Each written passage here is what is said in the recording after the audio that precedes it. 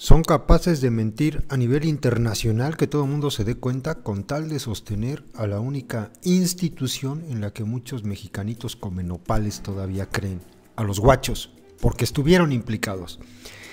El equipo argentino de antropología forense también desmiente a Tomás Sembrón sobre la acción llevada en el río San Juan aquel 28 de octubre. Este es un comunicado que emite. Dice lo siguiente, a la opinión pública. Ciudad de México, 28 de abril de 2016. En relación a la conferencia de prensa brindada el día de ayer 27 de abril del 2016 por el señor Tomás Herón, director de la Agencia de Investigaciones Criminales, el equipo argentino de antropología forense desea realizar las siguientes aclaraciones.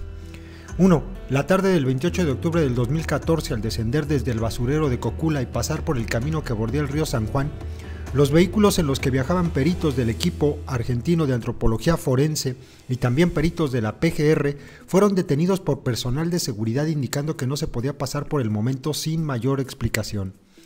Inmediatamente después un ministerio público de PGR se presentó ante peritos del equipo argentino de antropología forense y de manera súbita y violenta, utilizando un lenguaje extremadamente impropio para un ministerio público, nos preguntó por qué habíamos bajado tan temprano del basurero de Cocula, emitiendo múltiples epítetos contra el equipo argentino de antropología forense. El equipo argentino explicó que tanto los peritos de la PGR como los del equipo argentino de antropología forense habían acordado no descender del basurero de Cocula de noche por motivos de seguridad, sabiendo que el resto del trayecto de Cocula hasta Chilpancingo no había otra alternativa que hacerlo de noche. En ese sentido, el equipo argentino de antropología forense ratifica la versión de estos hechos presentada por el Grupo Interdisciplinario de Expertos Independientes en su conferencia de prensa del día 24 de abril del 2016. 2.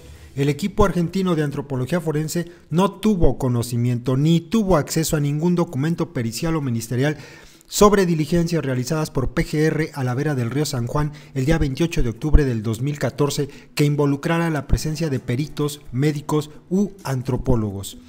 3. Sobre la bolsa del río San Juan, el equipo de argentino de antropología forense reitera nuevamente que no estuvo presente en el momento en que esa bolsa, según PGR, fue recuperada del río San Juan, ni tampoco estuvo presente cuando se recuperó.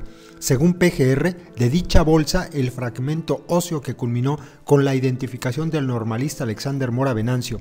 Asimismo, el equipo argentino de antropología forense solicitó en reiteradas oportunidades a la PGR la cadena de, custodia correspondiente al hallazgo de dicha bolsa, contando, contando hasta la fecha solo con un acta emitida por el Ministerio Público que señala que el 29 de octubre de 2014 buzos de la Marina le hicieron entrega de dicha bolsa. Agradecemos su difusión. SAS, Tomás Embrón, te siguen desmintiendo, siguen protegiendo a los guachos, siguen, protege y protege a los guachos. Ahí se los dejo, compas, saludos.